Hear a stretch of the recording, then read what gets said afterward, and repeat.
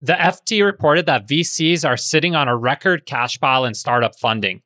In 2023, VC dry powder reached a record $300 billion.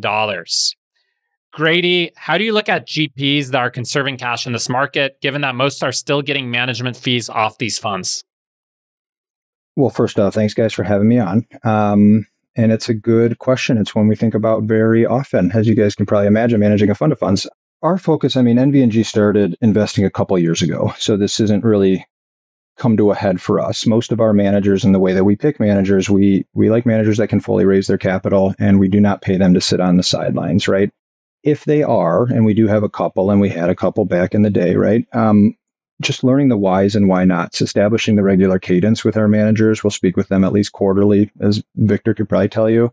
Understanding why they sit on the sidelines um, and the why is nots, and then importantly, so where are you spending that time and that effort? This is a management fee that is a loan to the venture firm from the LPs, right? It's a zero interest loan.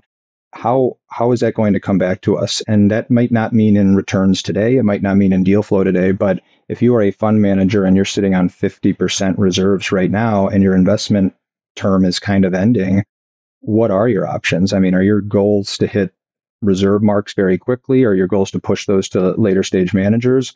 or what are you going to do with this management fee that we continue to pay you? And there are ways to generate value to LPs that are outside of just investing in the right companies on time.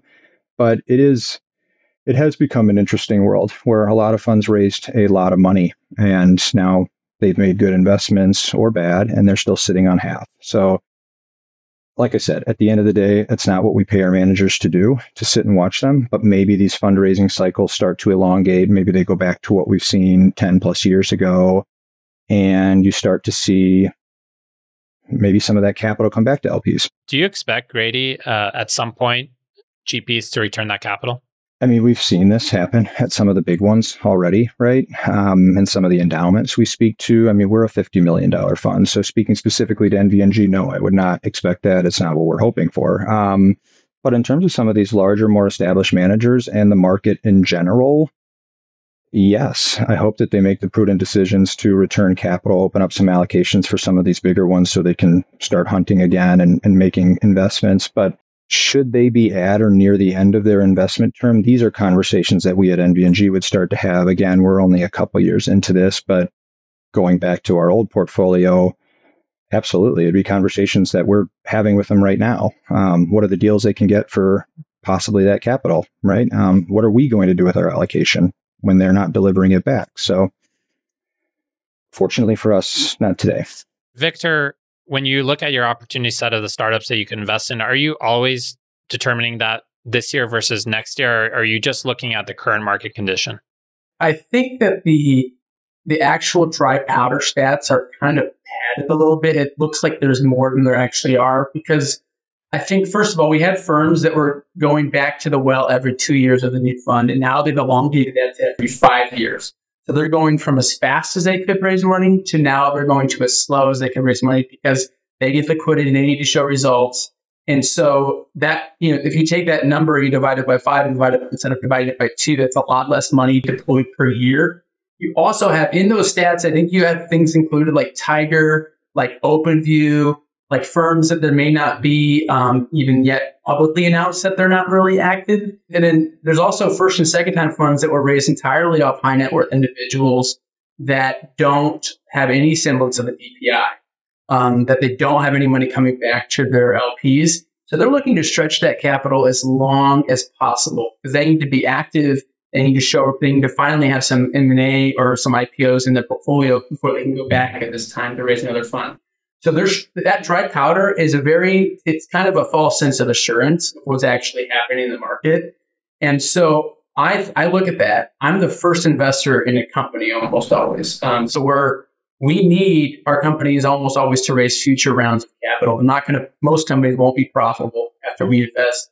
And I need to then understand like, hey, what does that what does that mean for the types of deals I can do for how they need to spend their money, for how much capital they need to raise, and also for their valuations that I'm going to require to get in at because there's more risk now. There's there's less likely that we can raise at a, as a premium competitive um, markup.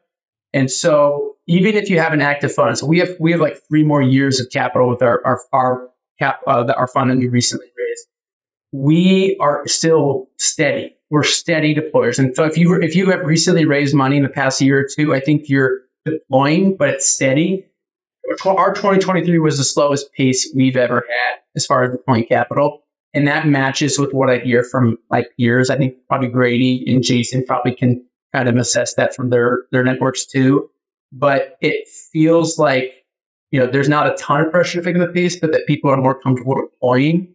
But it's, uh, you know, it's, it's not that for everybody. For a lot of these funds, they only have a few bullets left before they have to go back to the market. and They don't want to. So that's that's kind of how I see it, and that's why we have adapted uh, our investments because of that. And Jason, how do you look at your capital deployment schedule? Yeah, I've always been slow and steady. Um, and you have to play the game on the field. During peak ZERP, we didn't see a lot of deals we liked. We thought they were overpriced. And so I'll just give an example there uh, to your question. Know, if we have a company come to us and they say, well, we want a $20 million valuation, and I say, okay, what's the revenue? And they say, oh, we have, we're pre launch. And I say, okay, pre launch, um, no revenue. So, you know, infinity times revenue is your valuation um, I tell you what, why don't we talk in a year, um, or we'll talk six months after you launch the product, and we'll have some data there to talk about. So if the valuation's sky high, it's not a former founder I've worked with. We're probably not going to make that jump. And we were a little bit quiet during those two years. I'd say 2020, 2021.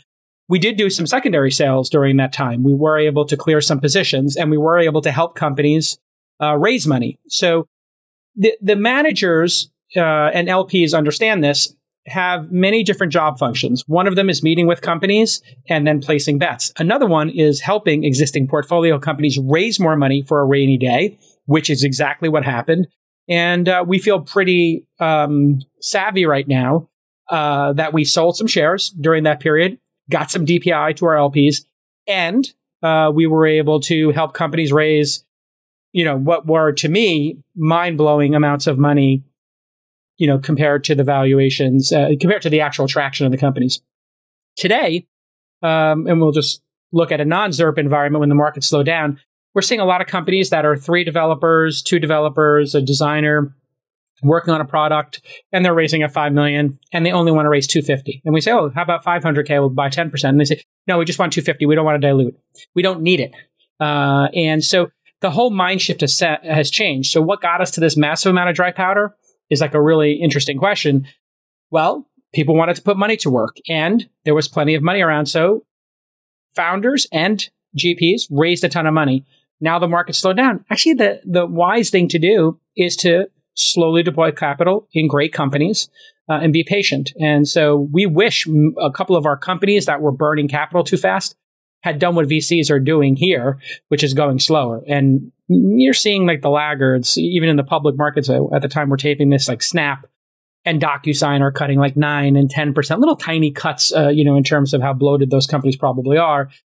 And so put it all together, I think net, net, net, you, you have to play the game on the field. And really, LPs, to your original question um, to Grady, uh, and I'm an LP in uh, 24 funds, we're looking at, for myself, two numbers cash in, cash out. That's all I care about. You can charge me whatever fees you want. You can charge me whatever carry you want. I'm going to judge you. I put in a dollar. You gave me, did you give me back two, three, four, five, ten, or 20? And I've had funds. What I just described is a bunch of different funds I've been in. And when you give a dollar and get back 20, 10 years later, you feel pretty good about it. When you get back one and you get back three, you feel good about it. And you give, give one and you get back two, you're like, ah. And when you give one and you don't get back one, you're like, ah, maybe, yeah, we gotta, we gotta take a deeper dive here and click on it. Uh, so yeah, the, I, I, wouldn't sweat the management fees uh, because, as uh, I think Grady was saying, it's a loan. It is a no interest loan. I could see it becoming annoying if somebody had a lot of funds and they stacked them, and you're like, "Wow, you guys are taking down." You know, let's just take the case of Andreessen Horowitz or something. You know, whatever, ten billion under management, they have twenty billion under management, whatever it is now two and a half percent or three percent of that is a lot of money to be paying three hundred million dollars a year or six hundred million dollars a year. Who knows where those waterfalls are at with those?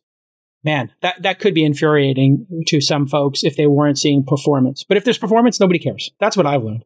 If you win, who cares? Oh, you you were skiing for twelve weeks in Aspen. Uh, yeah, there was this negative story about you in the press. Oh, you're spicy on Twitter and you're talking about wars and, you know, politics and alienating people. Who cares? Money in, money out. Let's get back to work.